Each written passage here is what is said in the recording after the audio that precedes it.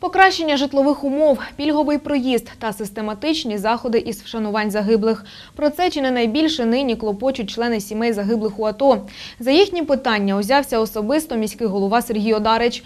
Той провів зустріч, аби про потреби людей почути із перших уст. З'ясували й проблеми. Через банкрутство одного із банків кілька сімей досі не отримали фінансову допомогу. Цим питанням відтепер опікуватиметься Нацбанк. Додам, три черкаські сім'ї вже кілька місяців не можуть отримати статус членів родин загиблих. Можна конкретно? Що треба зробити для того, щоб вирішити питання статусу? Значить, сьогодні, значить, по статусу сьогодні питань немає, але сьогодні треба звернення рідних до МСЕКів для того, щоб отримати зв'язок із е, смертю.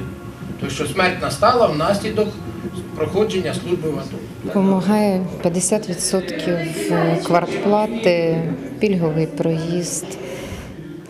Допомога разова нам прийшла дуже швидко, воєнкомат нам допоміг. Тобто ну, можна звертатися, ну поки що.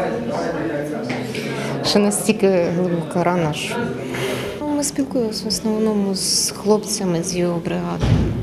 Воєнкомат, хлопці. Ну, якось легше це. Ну, скажімо, ще яка трошки більша сім'я стала.